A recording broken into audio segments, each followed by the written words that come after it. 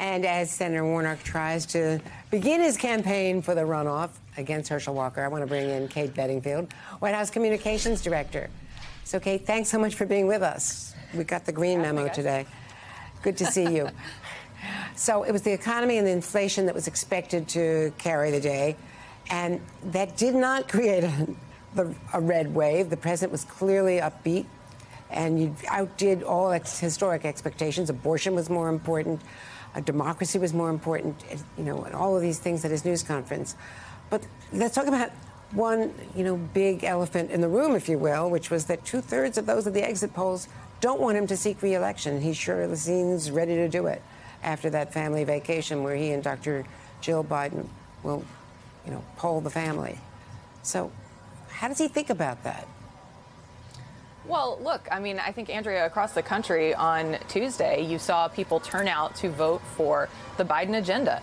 The president has put forward an agenda that's about lowering costs, that's about tackling the climate crisis, bringing down health care costs, forgiving student debt, uh, bringing manufacturing back to this country. And around the country on Tuesday, people had a choice, and they overwhelmingly chose the Biden agenda. So, you know, in terms of what the president is thinking about 2024, you heard him uh, speak to that himself yesterday. He has said many times uh, it's his intention. But uh, right now, we are focused on what we can do for the American people. He's looking for uh, ways that we can continue to make progress on this agenda that he put forward that led to, as you rightly said, a historically successful midterms uh, for a president. Kate, uh, as we were coming into you, it's Hallie. We were showing um, Senator Warnock in Georgia. We know that the campaigning is beginning in earnest today, not just that event, but one for Herschel Walker later on tonight with the Republican senator who's coming into town. Should we expect to see President Biden traveling to Georgia? Well, President Biden will do whatever Senator Warnock finds helpful. Uh, he will travel to campaign with him. He will raise money for him. Whatever Senator Warnock needs, President Biden uh, is going to do. So we'll see what the campaign would like, but uh, the president stands ready to do anything that Senator Warnock would find helpful. So Without, we're still waiting um, to find hatch- out. I'm oh, sorry. I'm sorry. Kate, quick- to- go ahead, go ahead. No, go for it. No, go.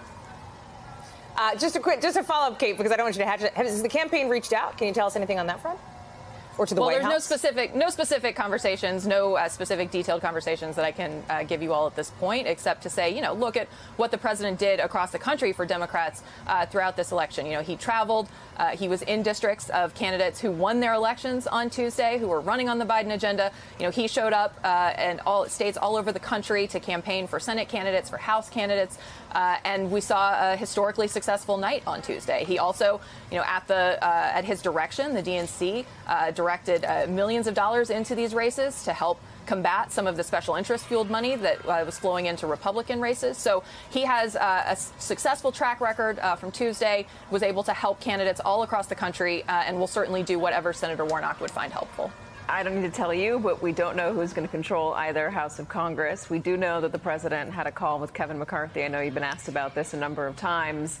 Um, also with uh, Mitch McConnell. I'm just wondering if you can give us any specifics about what the agenda is going to be and what the president sees he'll be able to get done with potentially um, a, a divided Congress.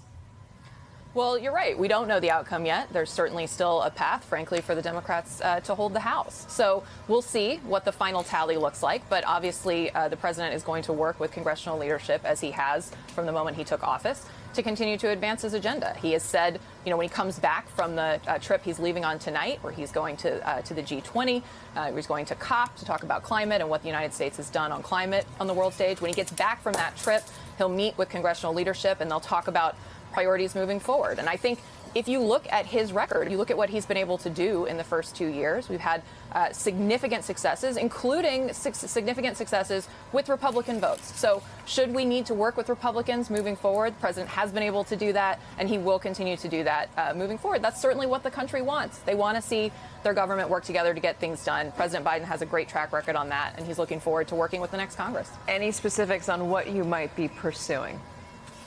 No specifics I'm going to lay out right now, but if you look at what President Biden said throughout this campaign cycle about what his priorities would be, I think you can see a clear commitment to protecting Social Security and Medicare, to uh, protecting a woman's right to choose, to continuing to make progress on lowering costs, to continue to bring down uh, the cost of health care, of prescription drugs. I mean, these are things that uh, he's been able to accomplish in these first two years, and he's going to continue to push. But he's looking forward to working with congressional leadership and, and moving forward on this agenda that the country uh, embraced on Tuesday. The president's about to go overseas, and you know he's going to be meeting with President Xi, as you well know.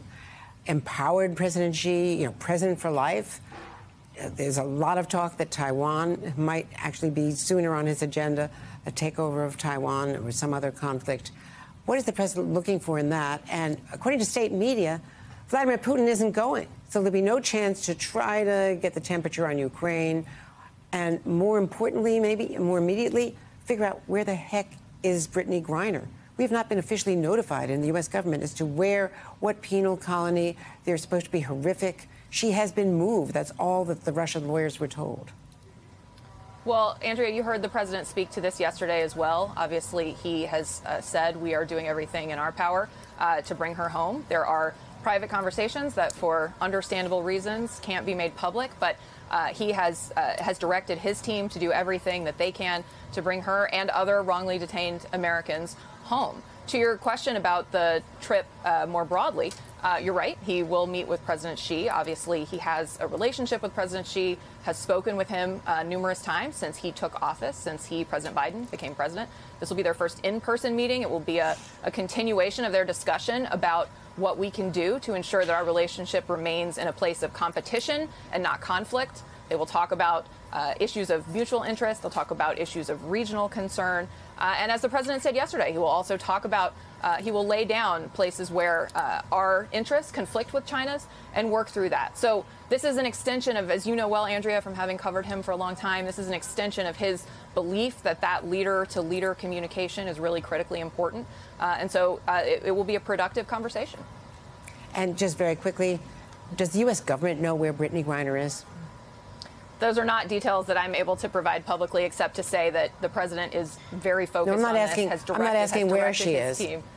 Do, do Even, we know? even wh- so, even so, you know well, a lot of these conversations just necessarily have Mm. to happen privately.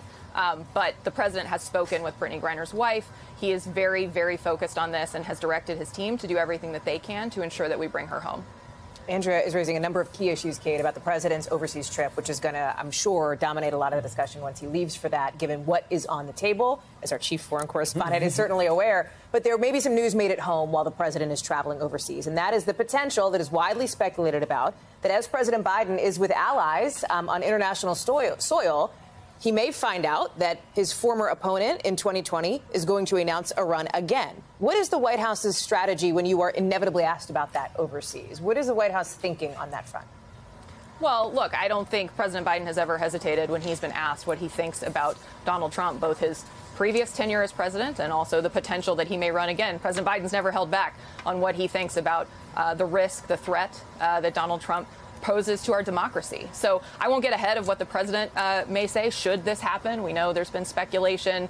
The date has moved. We'll we'll let that play out. The president overseas is going to be focused on uh, on the trip. He's going to be focused on the G20. He's going to be focused on working with our allies to. Uh, to corral Russia's aggression. He's going to be talking about the strength of the U.S. economy uh, uh, on the world stage. So he's going to be focused on the business of the trip, and we'll let Donald Trump do what Donald Trump's going to do. Well, Kate Bedingfield, safe travels. Thanks so much for being with us today. Thank you, guys. Uh, Appreciate the it. White House, I'm sure, has had a, a really exciting couple of days and more to come. Thank you.